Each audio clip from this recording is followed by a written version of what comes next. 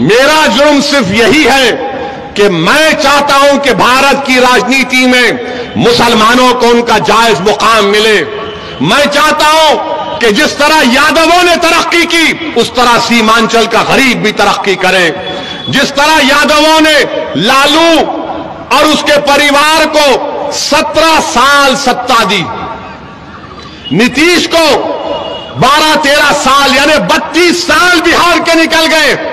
लालू परिवार में और नीतीश में बताओ आपको क्या मिला मेरे भाई? मैं यहाँ पर क्या कोई हासिल करने आया हूँ?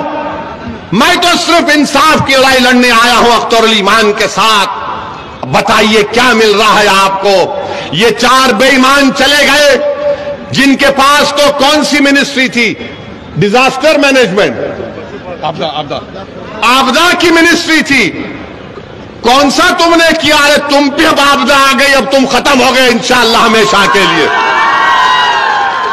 यही हमारी गलती है। अब आप बताइए, बत्तीस साल निकल गए इनके। ये बिहार सरकार ने एक सर्वे किया।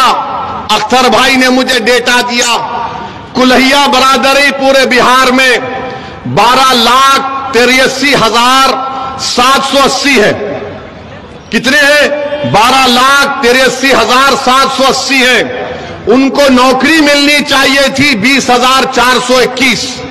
लिख लीजिए, वरना कल बोलेंगे वैसी झूठ बोल दिया। बीस हज़ार चार सौ इक्कीस नौकरी मिलना था। कितने कोलैया बरादरी को नौकरी मिली? पाँच हज़ार सात सौ चौंतीस। इसका जिम्मेदार मैं हूँ। इसका जिम्मेदार अख्तर ईमान है। इसके ज़िम्मेदारी आप पर भी आयद होती है, क्योंकि आपने लालू का साथ दिया।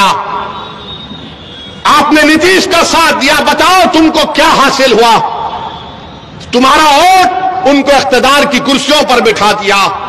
तुम्हारा वोट उनको मुख्यमंत्री बना दिया। तुम्हारा वोट उनको एक साल नहीं, सत्रह साल तेरह साल उनको सत्ता की कुर्सियों पर बिठा दिया। मगर आपका घर आपके घर में आज